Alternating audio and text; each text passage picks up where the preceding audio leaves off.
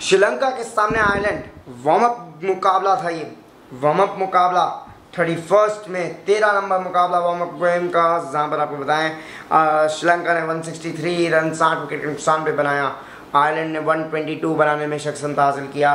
All out होती नज़र आई और श्रीलंका ने 41 रन से मुकाबले को जीत दर्ज कर एक विजय रथ में जाएँगी। वर्ल्ड कप में प्रवेश करती नज़र आएँगी। विजय है तो थोड़ा सा मोरल बूस्ट एक कॉन्फिडेंस के साथ जाती है टीम बताएँ आपको श्रीलंका प्रथम निशंका 22 रन 15 गेंदों में उन्होंने बनाया और 20 ओवर में 163 तक कैसे पहुँची श्रीलंका की टीम वो जानते हैं तो प्रथम निशंका ने 22 बनाया कुशल मेंडिस ने 13 मेंडिस ने शून्य बनाकर आउट मथा मेंडिस ने तो आपका बताएँ श्रीलंका ने छः बनाया स्वर कर्मा ने तेरह बनाया वसरंदु असरंग का कप्तान है ट्वेंटी सिक्स मैथ्यूस ने थर्टी टू शंका के तेईस धरंजय डिसल्वा के नौ, मतीशा पथिराना।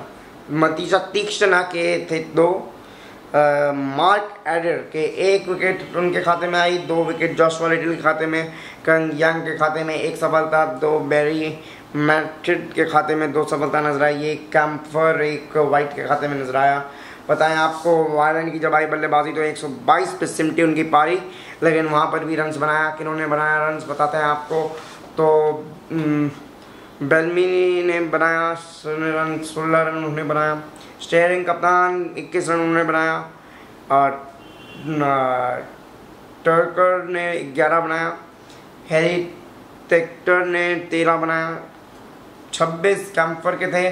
डगलेन के 17 ग्राफी के चार अदेर के एक बेरी के चार, यंग के एक जॉशवा रेडल के दो। बताएँ आपको गेंदबाजी के अंदर मैथ्यूज़ के, अंजलि मैथ्यूज़ के छोड़ के सबके खाते में सफलता नज़र आई।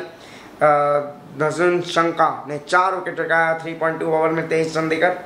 दो विकेट, मतीशा तीक्षणा वसंदु हसरंगा दो विकेट, एक चमीरा पथीराना मतीशा पथीराना तीन ओवर में तेरह रन देकर एक एक सफलता। उनके हाथ भी नज़र आई। बताएँ आपको 41 रन से श्रीलंका ये मुकाबले को अपने नाम करता नज़र आया। आपको क्या लगता है, ज़रूर नीचे कैसा लगा ये मुकाबला?